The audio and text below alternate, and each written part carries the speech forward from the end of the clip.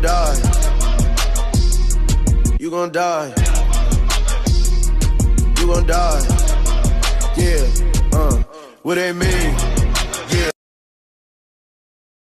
A man walks down the street, he says, Why am I short of attention? Got a short little span of attention, and oh, my nights are so long. Where's my wife and family? What if I die here?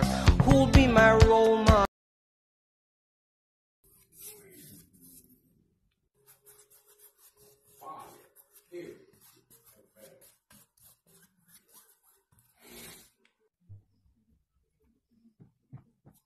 this to me now. The con game. You see? It's not the end of the world. Look, look, I have an idea. I figured out all the bugs, and now it's even better than ever. I just need to get the press. I kind of oofed, and I gotta correct this. Can somebody help me? Good luck, honey. what I was gonna do? I really need help fixing it. Fixing and now that that's over and he's gone, look, I'm not an artist. I'm a novice, novice. Either way it go, I need help. On a steel horse I ride, I want it.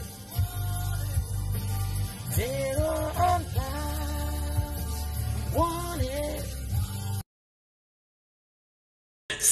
DM'd me and said, You are so ugly. That's why Sebastian didn't like you because you ugly and fat. And Sebastian commented and said, OMG, you're beautiful.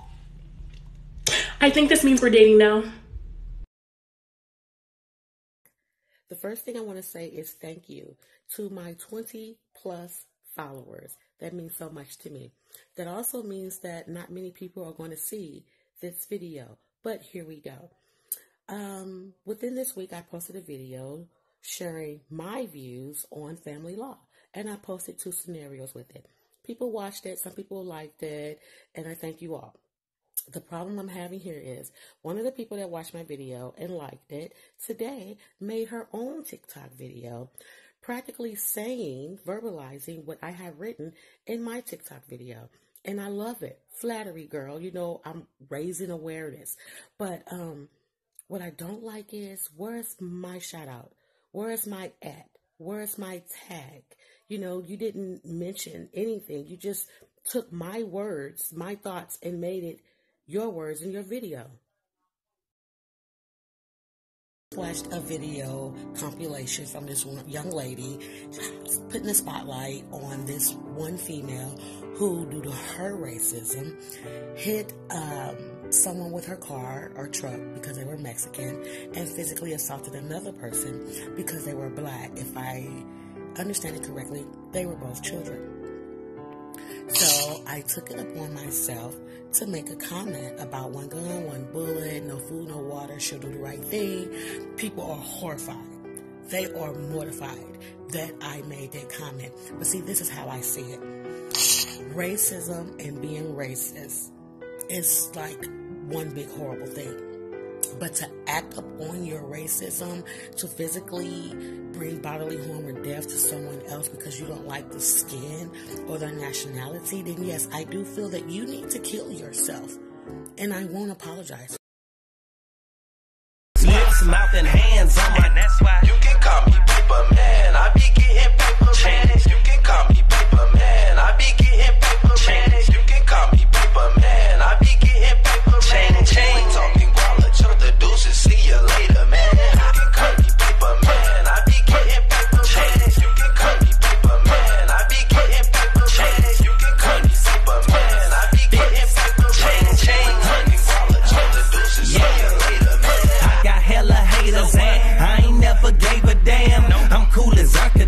Conditioning and you just a paper fan. I don't Dougie, I do my, I be getting paper dance. I can stack a ticket in the time you take to make a grand. The way I ball, I bet I can take the Lakers fans. I can make it rain no matter what Mother Nature plans. It ain't a thing of ruler, my money ain't straighter than. All I touch is money, don't get mad if I don't shake your hand.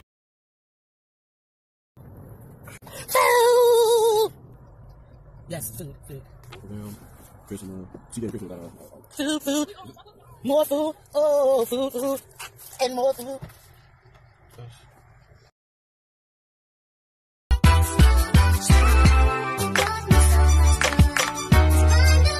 Destiny and T2, I wrote this for you.